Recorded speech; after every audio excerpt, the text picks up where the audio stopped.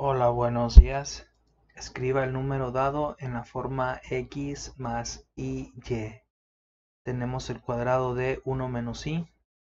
Eso para el tema de variable compleja. El cuadrado de 1 menos y lo podemos representar como 1 menos y por 1 menos y. Si multiplicamos, esto nos daría 1 menos 2i más i cuadrada, ¿sí?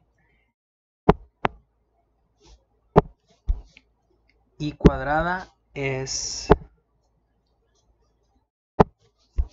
menos 1. Entonces tenemos 1 menos 2i menos 1. 1 menos 1 sería 0, por lo tanto obtenemos menos 2i solamente. ¿Ok? En ese caso nuestro x sería 0, y es menos 2. Pues sería todo, espero les sirva, espero sus likes, sus comentarios y su suscripción. Saludos, hasta pronto y bye bye. Suscríbanse, compartan, comenten.